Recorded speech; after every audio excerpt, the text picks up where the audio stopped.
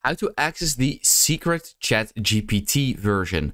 Now that's what I'm going to show you guys in this very quick video because it's actually super, super easy to do. Now, not a lot of people know about this secret version or like the beta version of ChatGPT, um, but it's so easy to access. You don't have to be chosen or you don't have to request anything. All you basically got to do is go to ChatGPT. And once you're here, you want to go to the URL. And the first chat over here, you want to change that to beta. And then the slash chat, you want to change this to slash playground. Just like that. And you will pop up here in like a second. And this is like the beta version of the ChatGPT. Now over here on the right, you have the model. So you have different models with different strengths.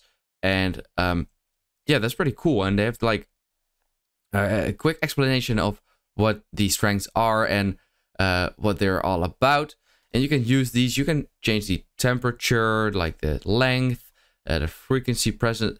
Like there's lots and lots of stuff you can try and mess around with, which I don't even all know about uh, yet. But yeah, it's still pretty cool. It works the same. You just simply have to ask your question over here and it will answer like the same. It just looks a little bit different. But this is the like beta version of ChatGPT. And I hope this quick video helps you out. Let me know in the comments if it did, and I'll see you next time.